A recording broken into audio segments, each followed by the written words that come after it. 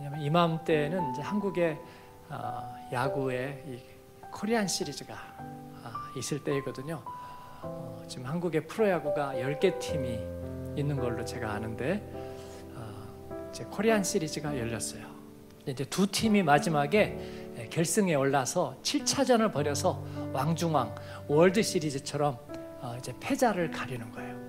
그런데 이번에 어느 팀이 올라갔는가 뉴스를 보니까 서울에 그 프랜차이즈를 둔 두산 베어스가 올라갔습니다.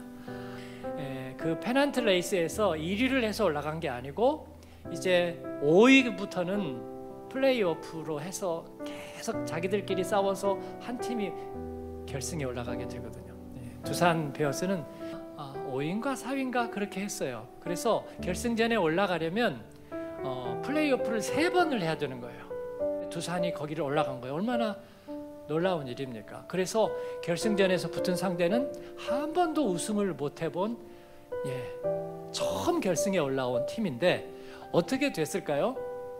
두산 베어스가 네 번을 연속 힘없이 져가지고 4연패로 낙마했어요.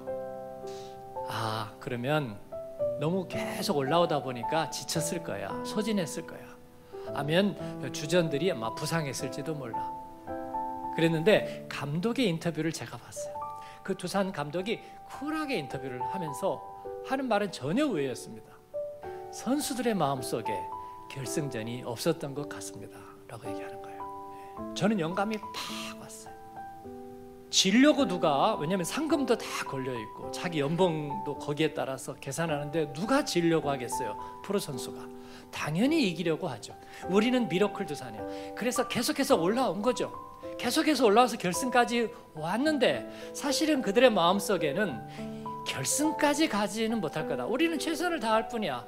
그러나 결승까지는 가지 못할 거야. 결승전까지 생각할 필요는 없어. 누구나 다 그런 마음을 갖고 있었을 거라는 거예요. 그러면서 싹 웃더라고요. 아하, 그렇구나.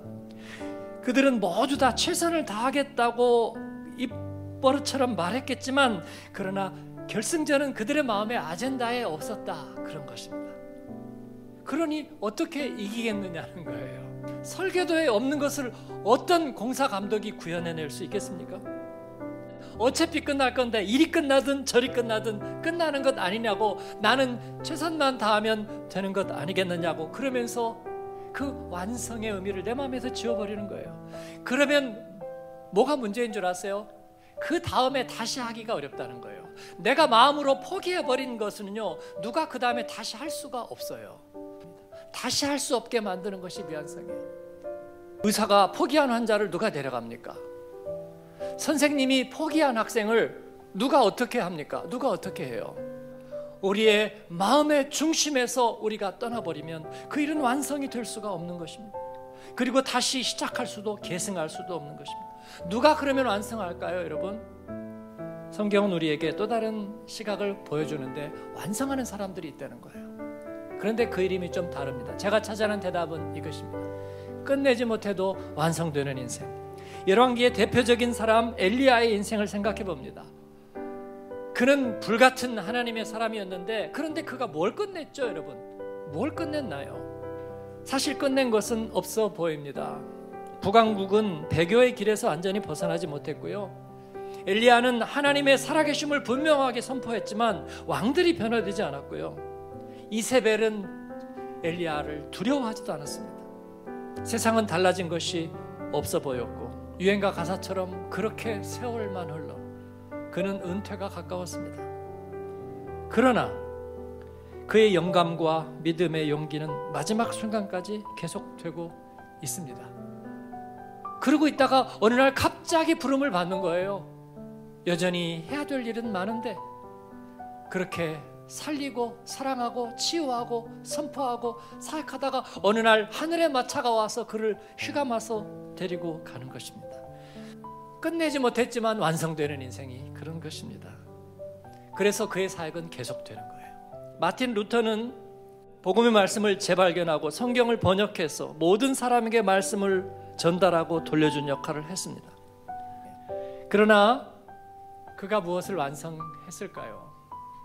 그는 끝내지 못했지만 완성된 인생입니다. 왜냐하면 그를 통해서 하나님의 말씀이 다시 꽃피우기 시작됐기 때문입니다. 그의 로마서 주석을 통해서 요한 웨슬레는 하나님 앞에 큰 전도자로 변신하게 되었고 그리고 그의 말씀은 많은 사람들에게 그리고 주의 교회에게 큰 영향력을 미쳤습니다. 우리 인생에서 완성이란 무엇입니까? 하나님이 주신 구원의 은혜에 대해서 우리는 무엇을 완성해야 됩니까? 하나님의 기뻐하시는 일이 우리를 통해서 계속 이어지게 하는 것입니다. 우리 다음에도 계속 이어지게 하는 것, 그게 완성된 인생인 줄로 믿습니다. 그 믿음과 열정이 남아 계승되는 것입니다. 그것이 완성입니다.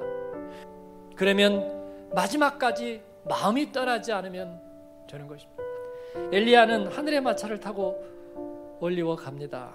그러나 엘리야는 하늘로 올리워 가면서 그가 사랑한 하나님, 그가 사랑한 세상, 그가 선포한 말씀, 그의 불같은 싸움과 열정 어느 것 하나도 헛되지 않다는 것을 보여 주었습니다. 그가 사랑한 것은 하나도 땅에 떨어지지 않았고 그의 믿음과 열정은 곧바로 이어졌습니다. 그의 인생 공정은 하나님의 설계도 안에서 완성되었습니다. 그는 버림받지 않았습니다. 그의 이야기는 오래 오래 오래 기억되어서 아름다운 메타 스토리, 하나님의 큰 복음의 스토리 안에 그 엘리야의 이야기는 남아 있습니다. 엘리사도 죽었는데 그의 죽은 시신이 시체에 닿으니까 시체들이 살아났다는 이야기를 열왕기서는 전하고 있습니다. 그는 죽어서도 말하는 사람이었습니다. 그는 끝나지 않았습니다. 그는 살리는 생명사역, 물을 파면 우물이 나왔고 그 물은 살리는 물이 되었습니다. 사랑하는 여러분, 우리는 그렇게 되기를 바랍니다. 왕이신 하나님께서는 우리 인생의 길을 연출하시고 우리를 통해서 하나님의 큰 그림을 완성해 가시는 거예요. 우리는 그래서 그 주님을 의뢰하고 끝까지 포기하지 않고 복음의 길을 기쁨으로 걸어야 되는 줄을 믿습니다. 예수님은 딱 3년 사역하셨습니다.